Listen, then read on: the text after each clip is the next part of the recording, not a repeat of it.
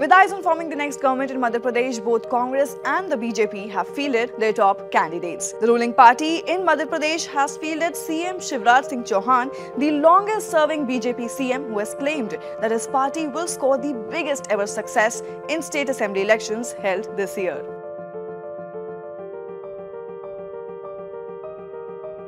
Shivraj Singh Chauhan is the present Chief Minister of Madhya Pradesh since 2020. He became the Chief Minister for the first time in 2005 after replacing Babulal Gaur. He remained the CM till December 2018 when the Congress party became the single largest party in the state and Kamal Nath became the Chief Minister. However, the Congress government in the state was short-lived and Shivraj Singh Chauhan again became the CM in March 2020 after the Jyotiraditya Scindia's rebellion. He is the longest serving Chief Minister of Madhya Pradesh as well. The Bharatiya Janata Party leader has been representing the Budni constituency in the Madhya Pradesh Assembly since 2006, winning it in a by-poll.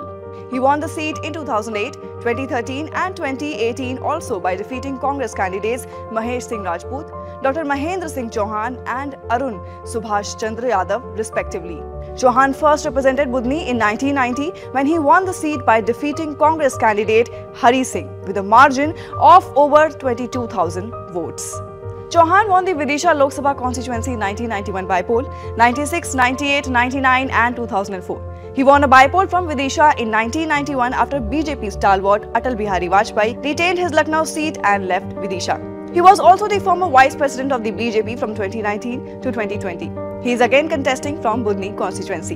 However, on the question of who will become the next CM, Chauhan said it is the party leadership which will decide. The results of the five state assembly elections, including Madhya Pradesh, will be declared on 3rd December 2023. So it's up to the people if they'll choose Shivraj Singh Chauhan this time or not. Till then, keep watching India TV.